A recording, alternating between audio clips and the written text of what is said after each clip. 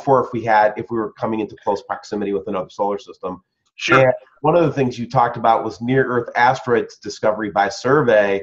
And I just wanted to point this out. It only takes us through 2015, but you can see this dramatic increase in NEOs. Now, that could be because of our detection capabilities as well. So I want to qualify that. Um, but you just did a video on this, Wayne. What was your observation about comets in our area and things like that? After reading the preparedness document by uh, Damien and the interactive working group that the uh, President Council, and by the way, ordered by Congress, nevertheless, um, here's what I come from the conclusion. They know uh, something is up, even with the enhanced capacity that we have, right, in being able to spot these NEOs. Steve, it's very clear to me that the admission of this document was simply this. There's very little that we're going to be able to do. Now, caveat that to sir is that they apparently have been working on technologies of where they think they can actually deflect some of these. Yeah, and then we got a white paper that also talked about, in conclusion, a close encounter between the Earth and a large charged object, be it a planet or a brown dwarf surrounded by a cloud of ionizing gas, like we're theorizing here, would cause destructive events on our surface and the Earth's crust. Um, and, then, and then she goes on to say, I don't think bases under the surface are much safer. The only safe uh, place would be not being on Earth. Now, that that I agree with, but I also have been watching this phenomenon long enough to know that I would expect certain things to happen based on our observation that did not happen. Okay? So, in other words, one of them was this when we watched this intense energy coming around as the sun was rotating and we're rotating around the sun, this very large coronal hole stream that we keep getting. I would have expected that to be much more damaging, much more impacting to the earth than it has been. Yeah, uh, listen, I think we're beginning to see enough anecdotal evidence that says, okay, uh, the current situation on the sun today is that we saw those two large coronal uh, sunspots come through. And right before it turns to the Earth, this thing was spouting, you know, like Mount Vesuvius. Right. Um, gets in front of the Earth, and all of a sudden we have negative polarity. It just shuts down.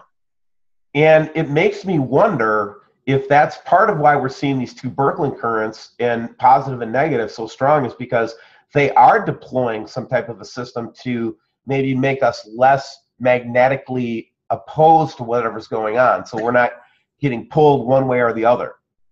We're yes. And that kind of goes along with what Daniel was telling us in terms of the reason for the chemtrails and the reason for all the different uh, you know, things that we see in the skies and all the different devices and wacky things that we see being deployed on SECCHI, right? Correct. So I do theorize that they are they are doing as much as they can to mitigate the effects of the system right now. That's my theory.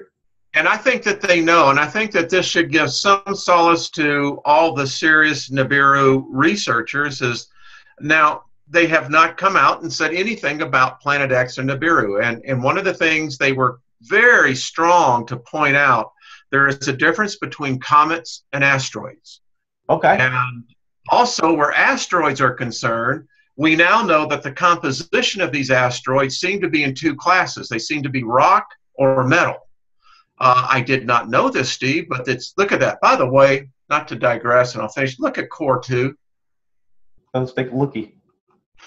it's a, so that is the point. If if if there is a, a meteoroid that comes in um, that is or an asteroid, a small one that's made of metal, mostly in the composition, uh, the intensity of that is much more. What is going?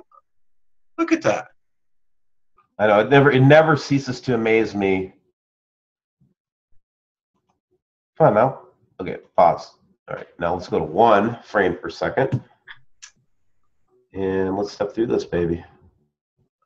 Sorry to interrupt you.